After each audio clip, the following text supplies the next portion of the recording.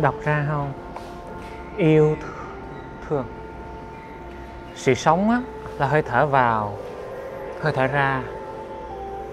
Nếu không có vào và ra vào thôi mà không ra là mình đi luôn. Ra không vào nữa mình cũng đi luôn. Cho nên tình yêu đầu tiên á, là sự sống. Bản chất của sự sống đó chính là tình yêu. Nếu mình không thấy được cái sự sống là tình yêu cao thượng và nhiệm màu nhất thì mình sẽ là một kẻ ngoại tình. Mình đi tìm tình yêu ngoài sự sống. Mình thở mà mình không còn biết mình thở. Hơi thở này không còn đủ sự hấp dẫn để làm mình hạnh phúc. Thì mình như là một cô hồn, cô đơn tách biệt với sự sống. Nhưng tâm mình là si tư, tách biệt, chứ sự sống chưa bao giờ tách biệt. Muốn hiểu điều này chỉ cần bóp mũi lại là mình hiểu liền cơ thể này lúc nào cũng kết nối truyền thông với sự sống.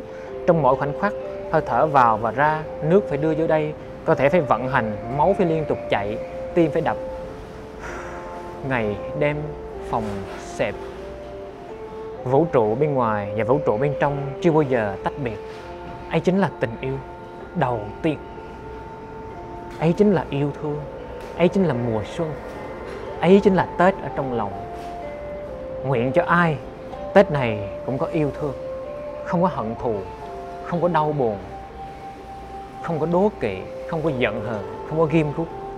Tất cả những cái năng lượng tiêu cực đó, buông bỏ đi, thì hoa nở rất đẹp, chim hót rất hay, ánh mắt người rất chân thành, nụ cười người rất thành thật. Ta với người đến với nhau không còn khoảng cách. Xuân là đó, tết là đó.